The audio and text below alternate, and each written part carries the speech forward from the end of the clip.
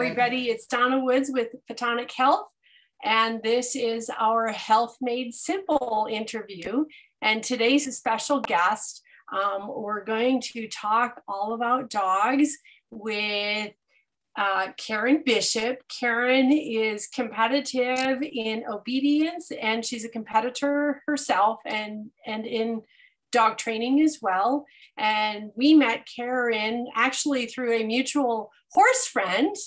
And mm-hmm. um, I didn't even realize that she was a, a, a dog person or a, a, dog trainer until gosh probably a couple of years after we had initially met. And I, I just thought she was a horse person because she was just so amazing with the horses. So i think she's both. She's a horse gal and a dog gal um, as most horse people are.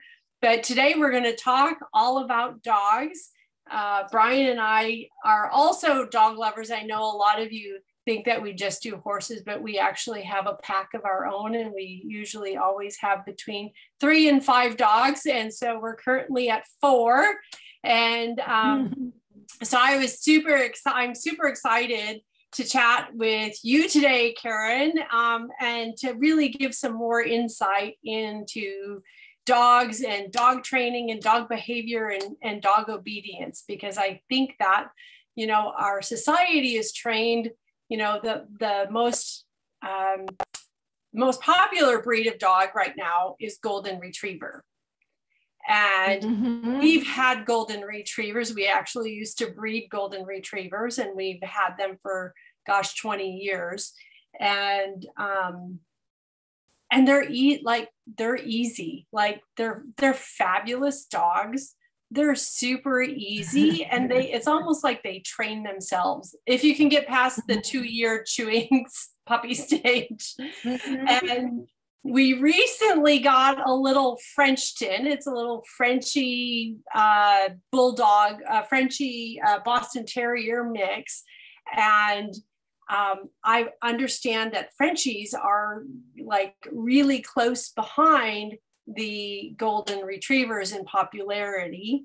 And um, one of the interesting things that I've learned about the breed since we we have one now is that they are have high play drive and that they can be a little bit stubborn and that they can be a little bit more independent. So I think so me as a dog owner, I'm going and I own some pretty difficult breeds. I'm like, ooh, this is going to not be a good thing for the Frenchie breed in a couple of years. Do you agree with that? yes, yes. Uh, yeah, yeah, and and that's funny because yeah, people get real into a certain breed and they don't realize that there are certain characteristics that mm, may not be quite as willing, may not be, or maybe a little more stubborn, you know, and then they start to find that. And you're right, golden retrievers are a piece of cake. right. I've had golden retrievers also. So yeah, they're a piece of cake. I, I've, and I love them, but, and I hate to say it, but anybody can train a golden retriever. Correct. It's just, Correct. that's who they are. Yeah, and then they are they are like the ultimate house dog, like family dog. Like if you Absolutely. have children, if you're looking Absolutely. for if you are looking for a dog to have for your children and you you just want it to be easy and seamless, they are they're amazing. They are absolutely wonderful. are amazing. They um, are. They're wonderful. Love the breed. Are. Yes. So it did um, all the hair. except for all the hair. You know, we lost our last one a year, it'll be a mm-hmm. year in a, a year ago next month.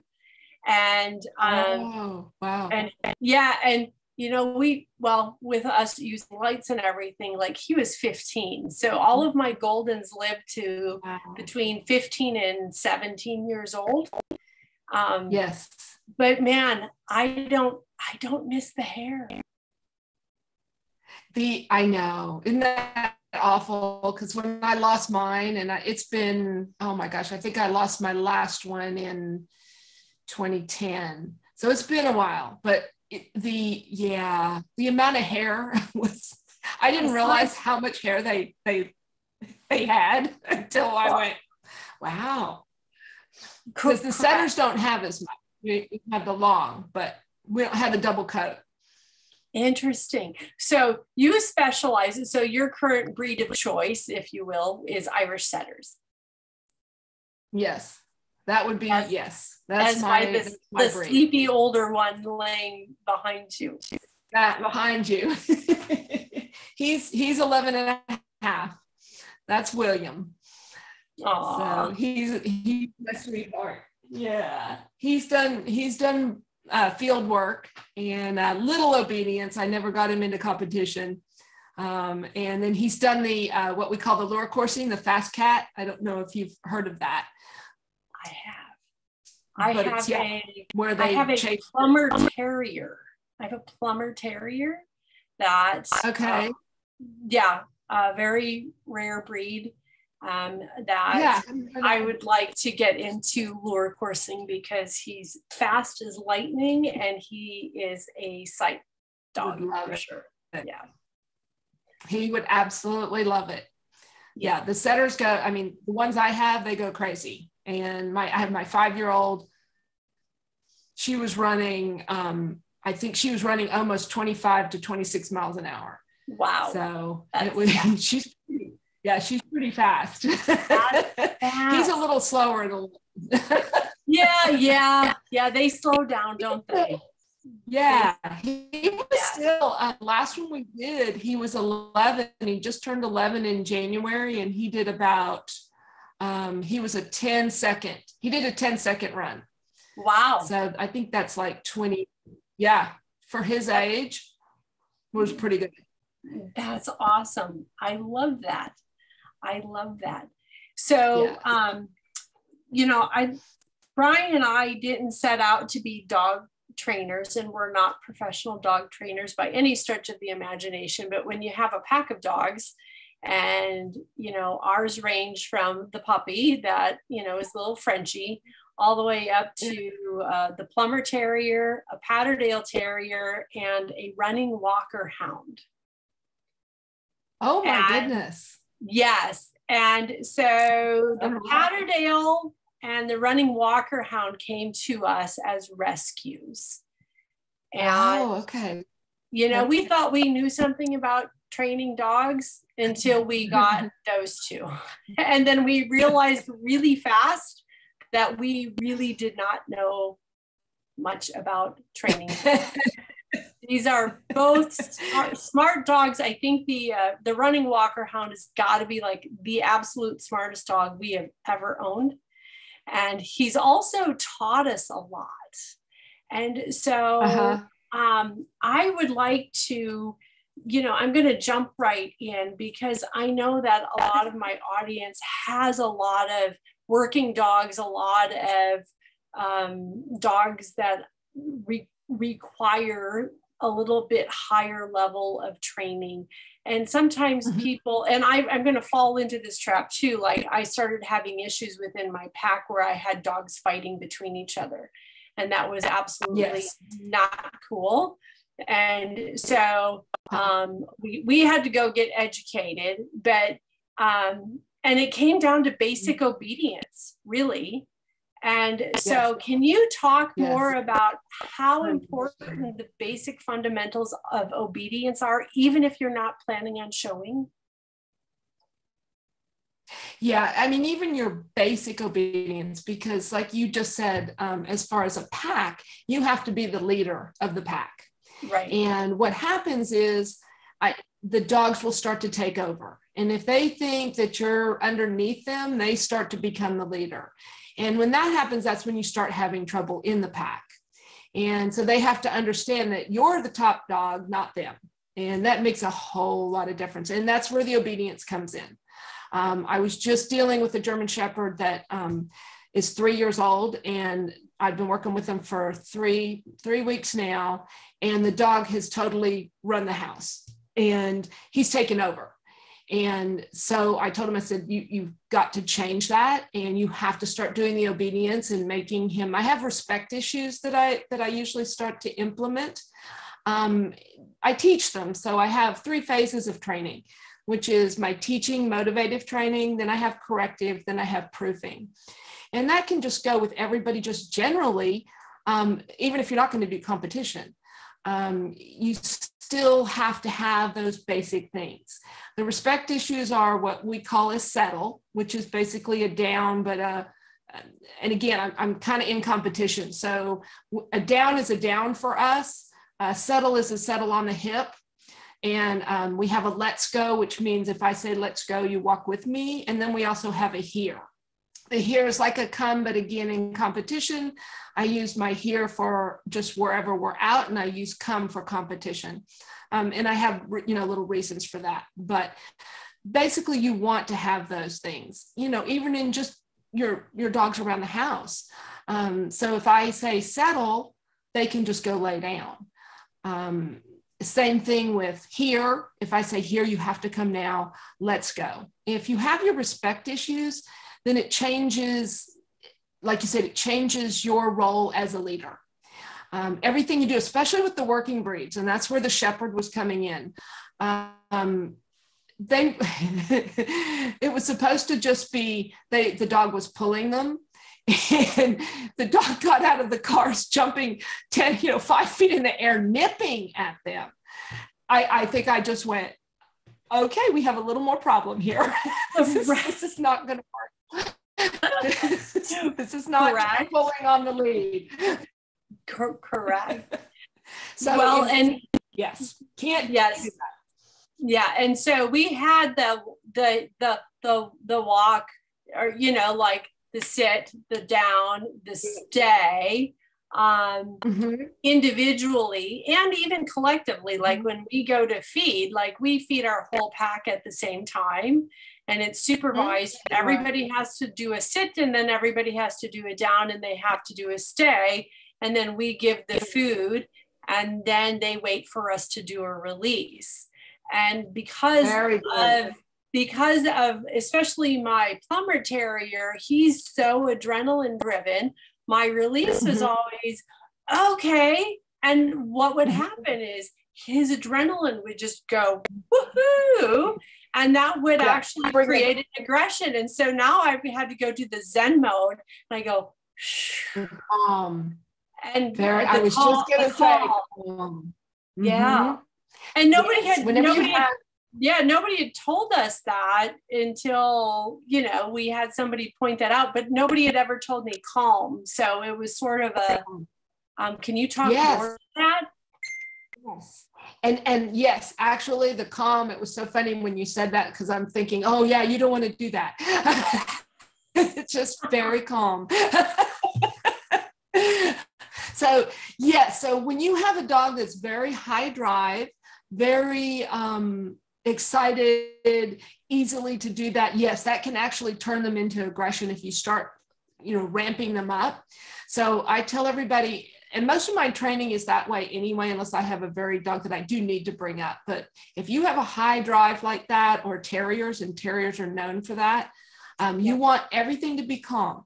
When your your commands need to be quiet and you never you don't want to elevate your commands. Like you don't want to start yelling. That's very bad. It means you are out of control as a person and you're also out of control as the pack leader.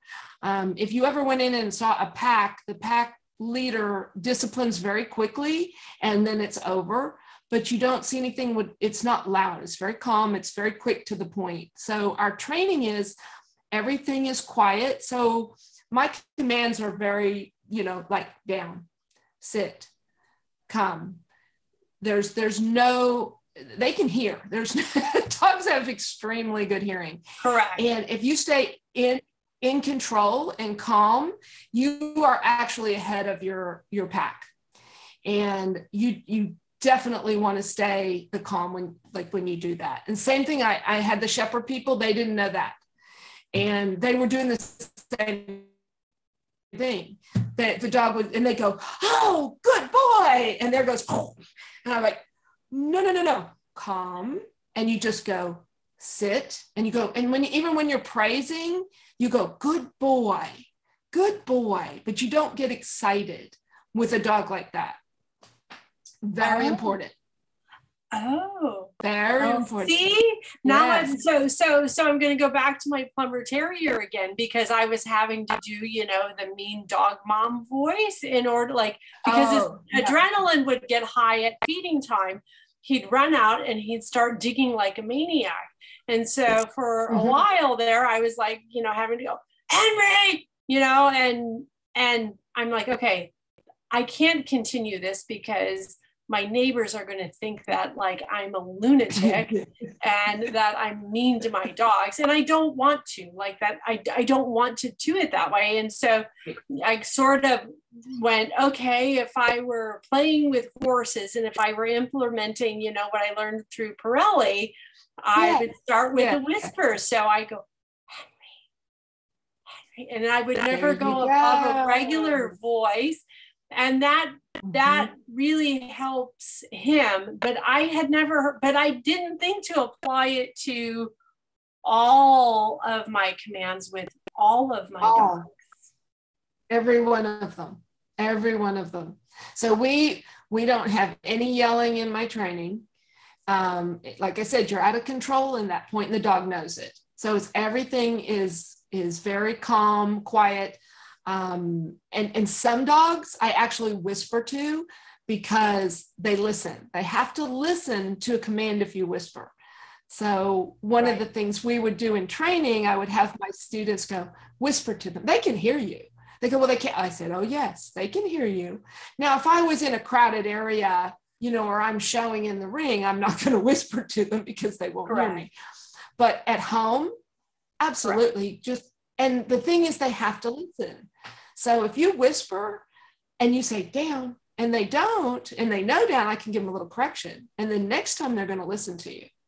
So right. instead of elevating that um, to, you know, like I said, you don't want to yell. I don't allow people to yell, you know, in right. my training.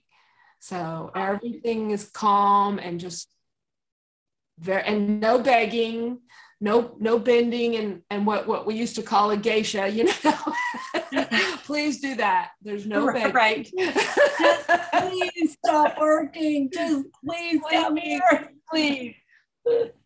We used to call yeah we used to call that that we used to call that um, begging train you know like you go in and please do that for us please do that for us it's like no no it's you're not allowed to, to beg and uh, but everything like I said and even your body language says something. So if you stand up straight, and again, I'm putting the shepherd in there because I'm dealing with her right now. Um, they want to do this. They want to lean over and oh hi, you know, and and that absolutely puts you underneath the dog again as far as the rank um, in the leadership because now you're not looking strong and in charge, and they know that. And a strong working breed or terriers, terriers are very strong um, as far as their, you know, um, attitude. And you need to show them that you're head of that pack. So you need your body needs to be up upright. You need to be very confident, in control. And when you say something, a command, it needs to be a command nicely, like I said it nicely, like I'd say down, but also firmly so that they know that I'm in charge. Like I'm not going, oh, please, would you go down? and no right. sentences you can't, you know, would you please such and such for me, you know? no. Correct. yes. So that's one thing that usually I have to stop people doing very quickly because they want to they want to send tell them to do something in a sentence. Like, oh, would you please down for me? No, no, no, no. That needs to stop. Just one command down. Um, when I'm in my teaching motivated phase, I will repeat the command because I'm teaching and I'm motivating. Um, when I go to the corrective phase, it's one command and then a correction follows. Um, okay. Same thing in proofing. So that is that is very important because you'll see people keep repeating three or four times. I said, well, you know, they already know you said that fourth time. They're going to wait till the fourth time to do it. Um, if you want them to do it one time, you have to say it the first time and they have to follow through. Again, I have to know my phases. You know, does the dog understand the concept in the teaching motivated phase? Because if he doesn't, then I can't move to the corrective phase. Um, your smart breeds, oh my gosh, they're very quick to pick that up. You you'll move to a corrective phase. Very the shepherds just blowing me away right now, you know, as far as how quick he's picked things up. Um, I love my setters, but they're not the brightest bulb. they but they're very trainable, but they're just not up in the level there. or yeah, well, you know, and, I mean, there's there's a place for every breed, and you know, there's there's a place for every breed, and I mean, there's a reason that we have our running Walker Hound. I think we were his fifth home and he was a year old and it's because he's oh. like oh oh my gosh like this dog literally knows how to open every single door in my house and he'll start with my oh front oh door and if it's locked he will go around my entire house and check every single door oh, oh my god yeah there you go. There, there you, go. you, go. and you have and, to be and you have to be in charge. And so like you know when when we he actually dug into our farm farm. That's how we got him. We, we weren't looking for a dog. He found us. Oh. so we you know we're oh we're like okay i guess he's supposed to live here. And um you know when he came like that's what he would do is like we'd walk outside and leave him outside and he would jump. And he'd jump and he'd grab our arms. And so you know, we didn't know you oh, at the time. Otherwise, I would have come to you. But that's exactly yeah. what, you know, we, we went to a professional and they were like, well, he, he's just in charge. Like, he doesn't respect you guys. So, mm-hmm. like, you know, like the correction uh, this to me was interesting. It worked for him. I don't know, you know, and I only have my experience with him, so I don't know if it's correct right, or not. Right. But it worked for right, him.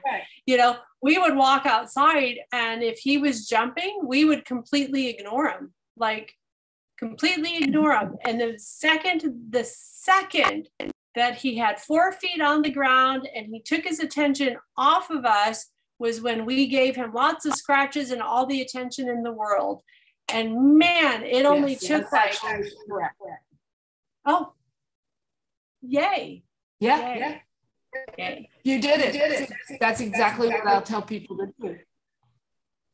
Awesome. Well, it, it worked. It worked. It's harder with little dogs because we get a lot of people that come to visit and and they and the little dogs Much jump harder. up and they pet them and I'm like, please don't do that you're rewarding the wrong thing. Because yeah, you're actually, and that's true, you're actually rewarding the behavior you don't want. And by keeping the four feet on the ground and rewarding, which is where like settle comes in. Settle's a wonderful command for that, especially with little dogs, because it is, it's very hard with little dogs because they're very, it's just too easy for them to jump up and down.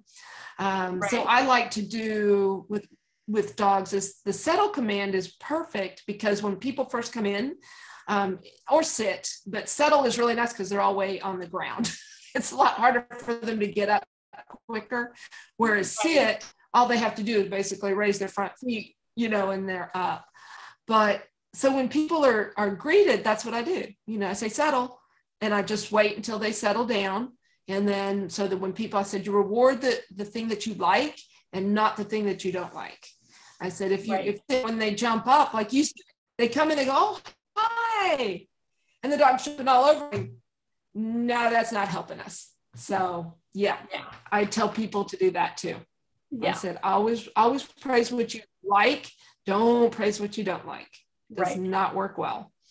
Correct. Correct. Now, do you use? I'm not. I, I, know in the show world they don't use say treats. I think they call it bait. Is that correct? That would be yeah. In the conformation information we call bait um, in obedience treats. That okay. that's what okay. we just use. All, but all right. Yeah. Okay. All right. And, and so you use that in the training as well, obviously. I do. I do. I use anything that'll motivate the dog. So most dogs are food driven. I have had a couple students with with no food drive, and that's that's a little more complicated. Um, but we we always like to say praise first prices first because that comes from you and you can take that in the ring. See, we can't take in obedience, I can't take food in the ring. Okay. Um, so I have to do all my obedience exercises and we're in the ring for five minutes, we cannot have food. So we, we, we, but I can bring myself and I can bring praise. So we always say praise first, food second. Um, and that makes a big deal. So whenever the dog does something right, and then the food. So the food is like, oh, okay, well, here we have a piece of food, but I don't make a big deal about the treat. I make okay. a more bigger deal about myself and my praise. And okay. that's it. That's actually very important um, for, for what we do. But I do start with treats in teaching motivative or toys. Depends on if the, the dog likes toys better, I'll use toys. Um, we had we had one student that had a um, dog that didn't like anything. I mean, we'd use the praise, but and I had to find something to motivate it. And she she finally said he likes a squirrel tail. I went, uh, okay. I said, well, it motivates him. So she got this like fuzzy toy that looked like a squirrel tail. She put string on on the end of it, and she used to like just play with him with it, and he loved it. But it worked. I, I mean, you know. Yeah. It yeah. Was, yes. It was whatever. You have to be creative. Um, German shepherds are pit, picky with their food. So one thing we found with them is meatballs. they, no. they love meatballs. well, who doesn't love meatballs? I mean, come on. Yeah. Blame them. You know, they they're definitely and what I tell people is I said you have to find something that they love. Um, like some people bring me treats that, that are these dry treats and, and they could care less. And you bring something out like chicken or meatballs or something that they love, and there's total difference. So you have to find what elevates the dog. Sure. And there's going to be something. People go, oh, well, he doesn't like anything. I said, I'm guaranteeing you, I will find something. Even right. if I have to go in the store and pick out three million things, I find something. Find something. But, right. Yeah, which we have done. yes. Yeah. Yes. Yes. Because I, I don't, there's got something. That, that is awesome.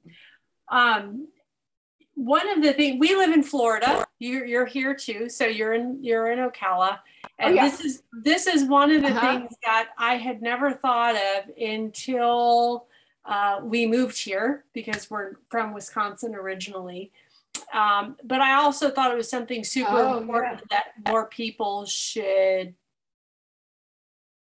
be aware of and how these mm-hmm. basic obedience thing commands can really from a health perspective save their dog and so I know oh. Florida, oh. we have lots of snakes, but I also know that I there's snakes all across the country. And so one of the um, two things, so one of the things is I didn't know there was such a thing, but there is such a thing called snake avoidance training because all snakes yes, have universal scent. And I don't know mm-hmm. that many people are aware of it. I've only ever seen it offered once in Florida. Um, and so mm-hmm. I have two dogs that are that were trained for snake avoidance, and of course the terrier failed the first class, so she had to go back a second time. um, but but my my, my right not surprising right but my Plummer terrier has not gone through it however um, I taught him the command leave it. Leave it. Leave mm-hmm. it. And so there have been several occasions where I look happen to look and he's after a snake and I just and this is where like the calm voice goes out the window and I just scream leave it and he mm-hmm. literally will just stop in his tracks and let the snake go. Oh um, That's awesome. Yes. Do you like? I use so the word I, leave it for a lot. Okay, and but but it it can be translated into a lot of things because a lot of people live or, either Absolutely. on a farm, and um, what other things are? Do you recommend that for like for the safety of your dog? Absolutely, absolutely. Anything that um, and leave it is perfect because we use that, of course, for training for food. Like if I have a piece of food in my hand, I teach them leave it, get it. which is a game, but I can do that with anything. I can do it, yes, with um, I'll do it with my with my guys with the birds because we have birds around and Yep. the one in the back is known to grab yeah and they'll grab baby birds and I'll just say leave it and they'll drop it so leave it comes in very very handy and snakes especially anything snakes skunks um, any any critters that you don't want them near absolutely absolutely very important um, I like a good leave it, a good here. Um, and actually, the interesting thing about settle and here is if, like, I run my Irish out here and she's been flushing some quail, which is what they do. Um, but if you have a good here, I can call her off of them. Uh, same thing would be like a snake or something like that. If I saw it, I could say here. And if, if I have them turn on a dime and come to me, I've just saved their life as well on that. Or if they're in the minute, you know, if they're trying to chase, I can say settle and they Yeah. drop to the ground. That's a very, very handy command. It actually could save their lives if, say, a car was coming, um, even right there. If I have a settle and they drop to the ground immediately when I tell them, that can save their life. So leave it is very important. Um, and like I said, settle and here. Those are my I commands I have to have on a dog. Very, very important. And settle, again, you can use that anywhere, anywhere, on anything. Right? Yeah. So is your settle now because I'm not a competitor, so I'm used to the traditional down. Is that just Down. You, you can down? make the down the same thing. It's a Okay. down. Mhm. It's a down with with a hip laying down. So Ah. instead of a concertina, what we call a concertina down, okay, which is in my competition, I need them doing that more. Um, the settle is when the hip relaxes. and ah, a little bit the reason for that it's better for what we're doing with the settle is because it's harder for them to get up faster from a settle than it is a down. Like if they're in a concertina down they can pop up which is why i use that in competition. Um, we Right. have an exercise they have to get up from on the down and i need them to get up and come quickly. So i want them in a concertina but if they're in where the hip lays over, it takes them a little more effort to get up and they're not as quick. Which the good thing with the settle is, which means if they're after something and I get them into a settle, they can't get up as quick to get to whatever they're going to. I have a little more time to get to them if I need to. Mm-hmm. right. It's more a relaxed position Yeah. than it is like a concertina down. okay. So it's it's a lovely, it's a really, really good command. Let me tell you how much I use that. A lot. A lot. It's it just a lot. Yes. if they're bothering me, so you know, if they're, you know, how they'll come up and just keep bumping you, like, please do this. I might not settle. So I can use it anytime I need. I love it. It's it's Right. one of my favorite commands. If I was going to teach anything, I would teach settle, here, and again, let's go. Those are mm, uh, absolutely my favorite commands.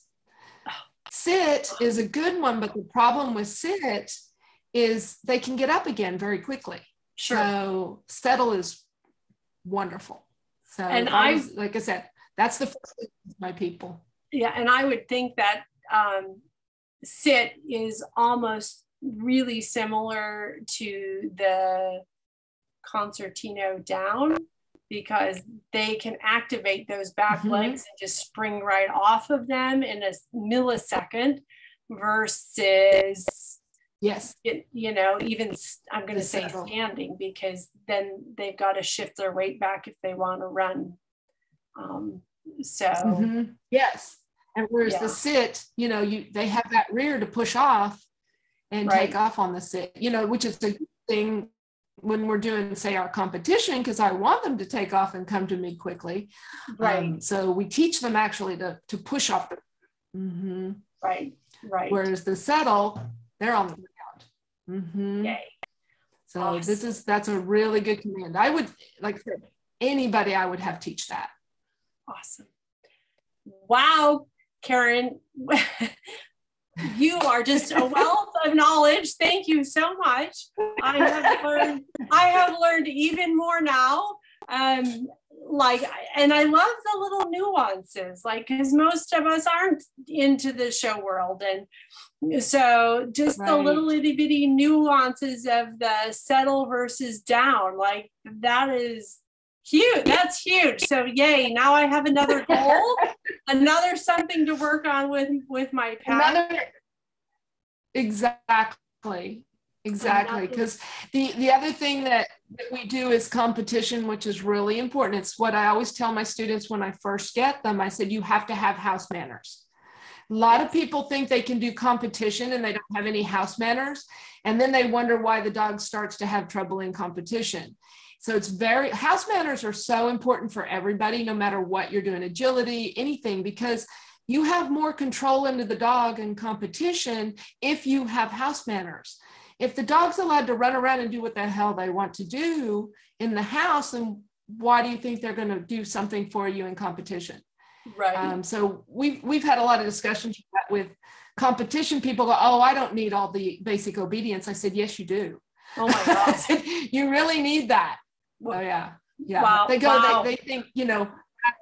Yeah. Wow. They think that'll stop the dog from doing whatever they need to do, and I say, oh my gosh, no! It'll make them even better. Um, if they will listen to you at home, you're in good shape in the ring. Right.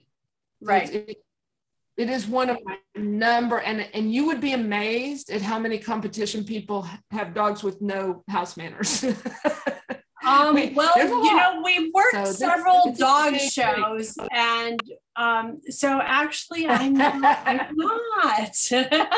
I'm not surprised. You're not surprised, are you? Not surprised, and I'm, I'm also it's, guessing that their house is probably tore apart and trashed yes. because the dogs have destroyed it. And um, they have the runaround, you know, they're on the counters, yeah, because, they're on this, or that. Right. It's kind of like unruly children. yes, yes.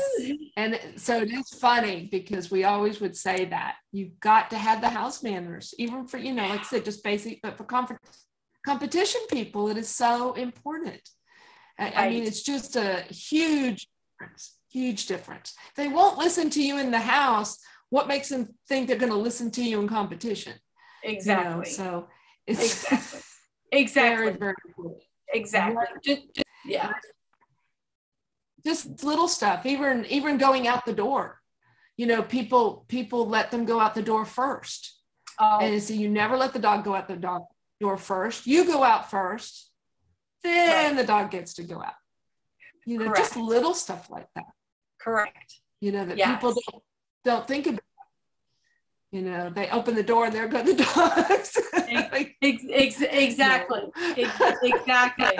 Or or the ones that go oh my dog doesn't walk good on a leash and he attacks other people as the dog's 10 feet out in front of them pulling them along. And it's like well oh. of but but they don't do it off lead right? So it's like well right. Yeah. get yeah. the dog behind you Exactly. Yeah. And I have what we call, and this the other thing in walking is a two, we call a two foot parameter. Okay. So when we're walking, that dog knows it's two foot parameter. We teach them that they're only allowed certain around us, and that's it. Now, I do have a word that says go play or you can go out further. So if I'm on a flexi or something, they'll go out further. If I don't give that command, they are allowed to stay in my two foot parameter, but they're not allowed to do that. So you always walk them on a loose lead. That's another big mistake people make is they let the lead get tight. Right. Um, anytime you let the lead get tight, you're actually encouraging them to pull more. Yeah. So you have to teach them what we call a two foot parameter and on a loose lead. So I can go anywhere with a loose lead and they stay within that two foot perimeter, which also helps you for off lead work. Absolutely. That's awesome. Karen, I know that you and I could yeah. chat for another four hours on dog stuff. Absolutely. right? But we have Absolutely. been chatting now Absolutely. for almost 50 minutes. Um, so oh I know goodness. time flies, right? That's um, awesome. Um, yeah, it does. It does. Yeah. Now, are you available? yeah are you available like do you do like consults like phone consults or remote consults at all i can um the thing that that and i and i guess i haven't done because of all this you know i used to get new students but it was a one-on-one you know before right you know the video thing so most of my students know my method which helps me a ton i so i can do that talking to them I haven't tried doing a remote with somebody that's never worked my method. I'm not sure how that works, but I think maybe I, I think I could talk them through it, you know, or even just show I haven't tried that. But yeah, you know. Okay.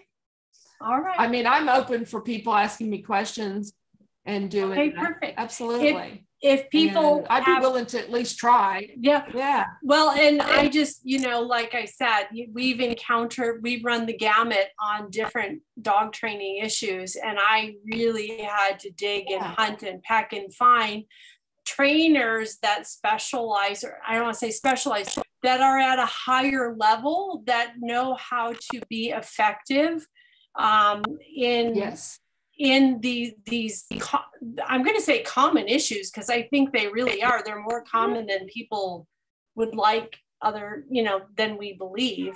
Um i agree. Yes. and so um it'd be great you know it, it now that i have your number um I will be reaching out to you because I have no idea how to yeah. teach a little six pound puppy how to lay down.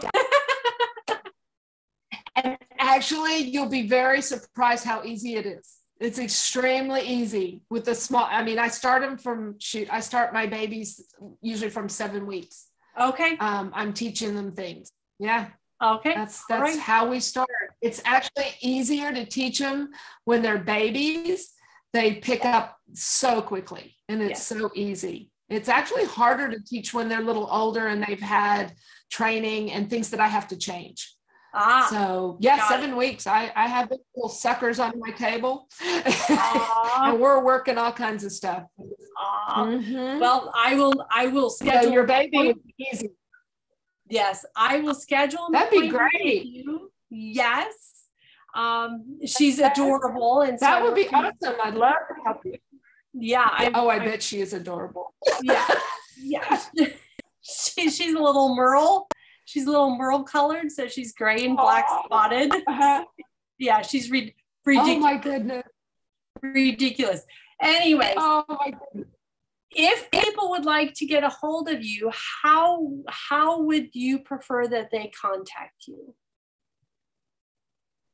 probably if they they can call but they probably need to either call and leave and i've had some trouble we, we had some trouble with the with the calling from uh, susie she and I were like, I don't know where the voicemail went, but it didn't come through. But most of the time, most of the time, if they call or text, texting would be good too because then I could see who it is, um, okay. and it wouldn't. I wouldn't look at the number and go, "Oh my God, that's a spam." So Perfect. probably texting. If they do call, text me also. Way I know for sure I get their message. So that'd probably be the best thing. They can always email me too. So that's fine as well. Okay.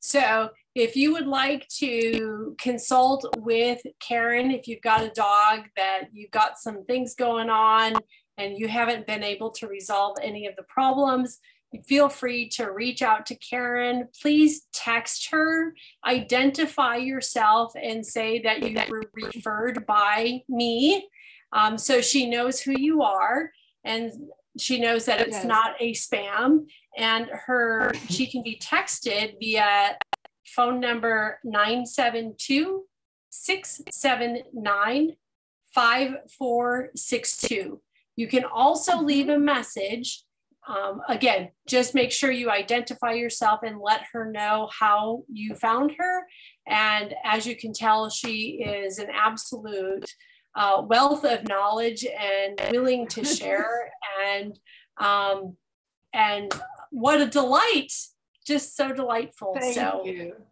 Thank Yay. you. I enjoyed it, Donna. Thank you so much. That You're was welcome. that was very fun. Yes, yes. see that that was that was not hard at all. It wasn't. It wasn't. I know. It was like, oh my gosh, can I do this? I don't know. Can I do this? But this, it was great. I'm so glad I could help you too. And oh. yeah, we get together and do your baby. Yeah, yeah, because she's at the point now. She turns four months old tomorrow, and um, you know, she's okay. got sit sit and we're working on come you know like when she hears my voice she's pretty uh-huh. good at, she's pretty good at coming but um i'm like how do you get use a treat with the come you use a treat with the come use a treat with your come okay. So when you show it say come and show her the treat okay? Because you're in the teaching motivated phase then she'll haul she will haul to get to you. Um, okay. because you want that to be really fun. So okay. show her a treat every time you say come right now. And actually down with her will be a piece of cake. Okay. They just at this age, they just fold into the down really easy. And then we could teach settle. Settle is really a piece of cake. That you just take a treat and do it. yeah. So how do I schedule an appointment? I'll be like, I can definitely what let's see most of the days you can well you can call me i think i think our numbers will get through I, I remember where you live so when squeak and i came and did the horse right and uh, so i do remember where you are um, okay. but usually um, usually tuesdays wednesdays saturday sunday usually work pretty good any of those days i usually work with squeak on thursday friday okay Perfect. So, so we're usually doing horses horses on those two days. And then okay. Monday, the only thing about Monday, usually we do ozone. So on my dogs. Yay. so she comes here and we do them on the rest. Yes. yay. Yay, yay, yay. So we call, oh, call Monday our like, ozone day. I would like to do an interview with Squeak. I don't know if I can get her to. So now that you've done it, maybe you oh, can let yeah. her know it's not so scary. I will. Tell her. That would be great if you could. She is so smart too. I mean, oh. that woman has knowledge. is unbelievable. Unbelievable. So yes, I'll tell her. Okay. I'll tell her because then, yeah, I bet she would. Now Yay. that we know it's not scary, Donna.